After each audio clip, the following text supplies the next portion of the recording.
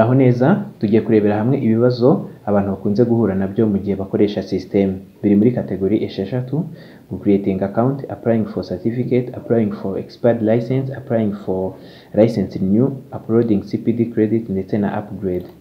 Ikibazo cya mbere abantu bakunze guhura na cyo ni uburyo bwo gucreatinga account muri system. Ntabwo ushobora kugiramo account ebyiri icyarimwe. Igihe cyose system ikubwira ko usanzwe ufitemo iyo email biba bivuze ko wamaze gucreatinga account muri system.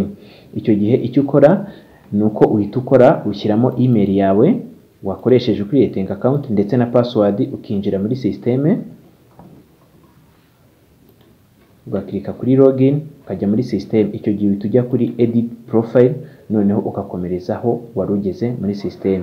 Igihe waba wibagiwe password yawe tuvuge wa creating account wenda urangije page ya mbere ukora next wibagirwa password kora kuri eh, forget password cyangwa se username barahita baguha uburyo bwo kohereza iyo password kuri email yawe. Igihe bitabaye mwahamagara kuri nimero ziri kuri screen bakabafasha bakabahindurira password mukabasha gukomeza muri system.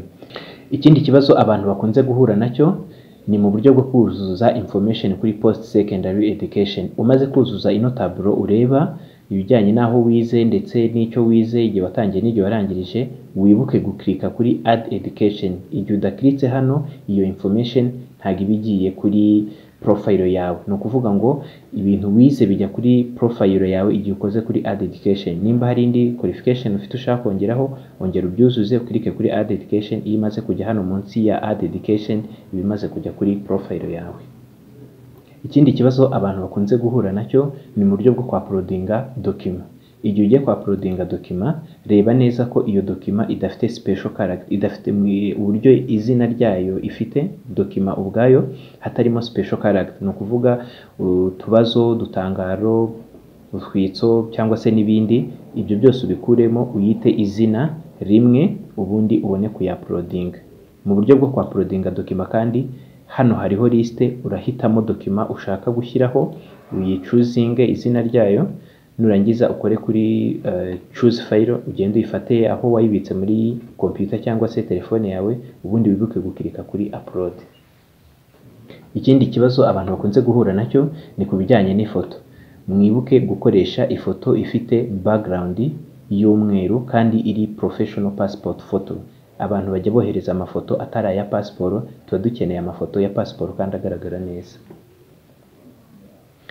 Ikindi kibazo abantu bakunze guhura na cyo iyo umaze umwanya muri sisiteme iri open utari kuyikoresha iba ishobora kwifunga. Igihe bikugendekeye gutyo kora kuri log out wongere ushyiremo email na password ubundi ukomeze muri sisiteme aho wari ugejeje kategori ya kabiri ni ibijyanye no kwapurayinga kuri seritifika kimwe mu bibazo abantu bakunze guhura na cyo mbere y'uko ujya kwa purayinga ni ukuvuga ukoze kuri seritifika ukabona uburyo bwa purayi nawu hari igihe bushobora kuba burenze bumwe.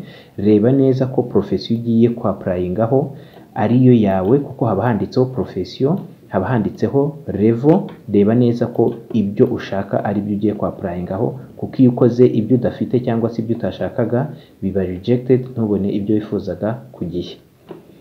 Ikindi kibazo mu buryo bwo kwapurayinga kuri seritifika igihe ukoze kuri apply now ukaba wari usanzwe ufite iyo seritifika wibuke gukirika kuri iyi point yanditseho ngo have you already registered for this certificate? Kuko iyo utabikoze wagombaga kubikora bakwandikira bakubwira ko ugomba kubanza kwibuka kwemeza ko wari usanzwe ufite iyo seritifika igihe utagifite iyo seritifika nk'aha bagusaba kuyapulodinga ukoreshe license yawe na byo nta kibazo.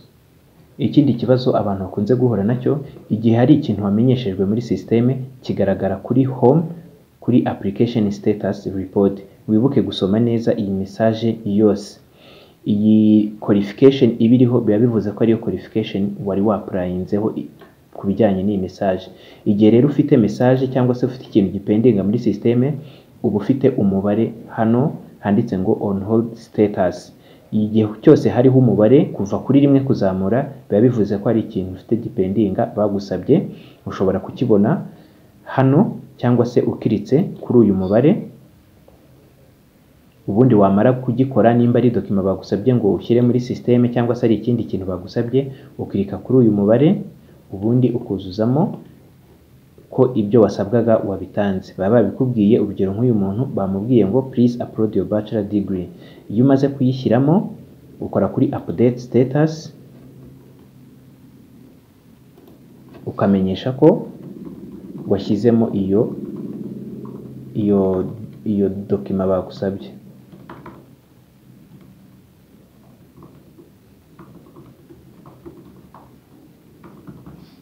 ubundi ugakora kuri submit. Icyo gihe iyo usabumitinze hano hahita hazaho zeru iyo igihe cyose ureba muri sisiteme ukabona nta mubare ufite hano biba bivuze ko nta kintu muri sisiteme bagusabye gukora. Ariko igihe cyose hari umubare ujye wibuka guhita usubiza. Ikindi kibazo abantu bakunze guhura na cyo mu gihe bari kwapurayinga kuri sisiteme ni ugukora kuri seritifika wari uje kwapurayinga wakora kuri apurayi satifiketi ugasanga hari empty. Nta buryo bwo kwapurayinga buriho. Biba bivuze ko ubwo buryo uti- utigeze ushyira information z'ibintu wize muri system. Icyo gihe icyo ukora uhita ugaruka kuri hano edit profile ubundi ukagenda ukuzuzamo information z'ahantu wize. Nimba ari kaminuza ubishyiremo izo information zose ni bwo uri bubone uburyo bwo kwapurayinga kuko system iguha uburyo bwo kwapurayinga ari uko wabushyizemo. Igihe rero ubona bimeze gutya nta kintu gihari biba bivuze ko utigeze ugaragaza information z'ahantu wize. Uba ushobora kandi gukirika kuri profile mu buryo bwihuse ugahita usoma profile yawe ukareba neza koko nimba sisiteme irimo information z'ahantu wize uhereye muri segonderi kugeza muri kaminuza. Ikindi kibazo abantu bakunze guhura na cyo ni uburyo bwo kwapurayinga kuri license umaze guhabwa eh, seritifika yawe. Ugikora kuri license information za mbere bahita bakubwira ko ugomba gukora ikizamini. Iyo icyo kizamini wagikoze ikintu ugomba gukora ni uguhita ukirika kuri previous candidate haba hari information ugomba kuzuza ukazuzuza. Iyo izi information utazujuje iyo uje gukora kuri apply license ukoze kuri apply license ntabwo system iguha uburyo bwo kwapurayinga ibuka gukora wuzuze previous candidate. Impamvu uyu muntu babimuhaye ni uko yabwujuje.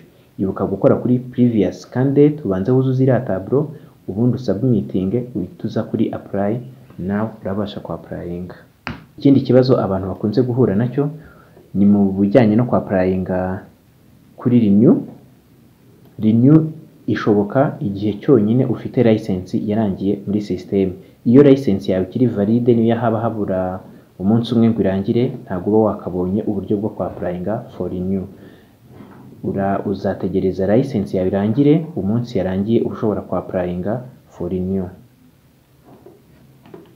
Ikindi kibazo ku bijyanye na CPD credit CPD credit uzishyira muri sisiteme ari uko ufite license. Hari igihe umuntu aba yamaze kubona seritifika gusa atarabona license agashaka kwa prodinga CPD credit muri sisiteme icyo gihe nabwo ntabwo bikunda kuko ugomba kubanza kuba ufite license yarangiye cyangwa itararangira ni bwo sisiteme ikwemerera gushyira CPD credit muri sisiteme ikindi ku bijyanye no kwa prodinga CPD credit muri sisiteme ibuka gushyiraho itariki ya activity ya CPD activity. Wikoresha itariki iri current. By default system ihita iguha uburyo bwo kuzuza CPD record zawe ishyizeho itariki iri current. Kuraho ino tariki kuri buri CPD ugenda ugaragaza itariki iyo CPD wayikoreye. Izi information muri izi ngizi e, yitwa kategori abantu bakunze kwishidikanyaho ushobora gusoma kuri website yacu ukamenya kategori e, za CPD ni izihe kugira ngo wuzuze kategori ya nyayo.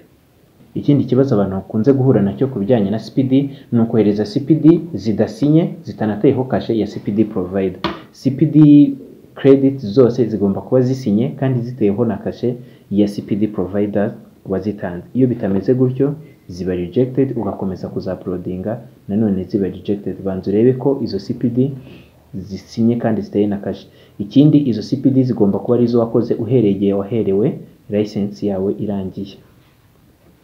Ikindi ni uburyo bwo kwa upgradinga kwa upgradinga igihe cyose wagize indi level yisumbuye ku yo wari ufite tuvuga wari ufite bachelor ugize masters icyo uzakora uza muri system ukajya kuri edit profile ukajya kuri eh, post secondary school ukuzuzamo izo information nimba ari masters wabonye ugakirika kuri add education warangiza ukaza kuri certificate iyo ukimara gushyiramo iyo information ukaza kuri certificate system ihita iguha uburyo bwo kwa applyinga kuri iyo level yawe wapugredinzeho ukishyura fees system. Nanone ije hano kuri apply ihita iguha information zose zijyanye na, na fees ugomba kwishyura. Ikindi kibazo kiri rusange igihe cyose wapurayinze kuri certificate cyangwa kuri license ntabwo approval iri automatique utegereza nibura hagati y'umunsi umwe n'ibiri kugira ngo ube wabonye feedback. Ba kwapuruvinge cyangwa se hari ikindi bagusabye haba kuri license cyangwa se no kuri certificate. Igihe kuri license wapurayinze igihe cyose ubonye approval ya registra muri notification biba bivuze ko wamaze guhabwa license yawe. Hari igihe umuntu yapurayinga akagira ngo mbere ahita biba automatique ko abona license ye bisaba hagati y'umunsi umwe nibura n'iminsi ibiri. Ikindi kibazo abantu bakunze kwibaza iyo umuntu yakererewe sisiteme imubarira amande mu buryo buri automatique akaba ariyo mpamvu tubashishikariza kwihutira gukora application muri sisiteme mbere y'uko license zanyu zirangira kugira ngo umunsi license izaba irangiye uzahita ukora eh, application for renew. Amande ajyaho nyuma y'iminsi mirongo itatu uhawe license.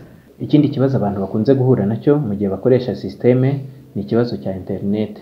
Hari igihe sisiteme yanga kubera ko ufite internet nkeya wagerageza ukajya ahantu ushobora kubona internet.